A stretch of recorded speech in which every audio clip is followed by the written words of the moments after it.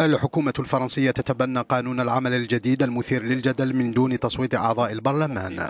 مانويل فالس رئيس الحكومة أكد على استخدام إجراء دستوري يخول الحكومة صلاحيات تمكنها من تبني المشروع دون التصويت. استعمال هذا الإجراء كان في المصلحة العامة على حد تعبير فالس لكن معارضيه حتى في صفوف الحزب الاشتراكي الحاكم يعتبرونه تعنتا من قبل الحكومة.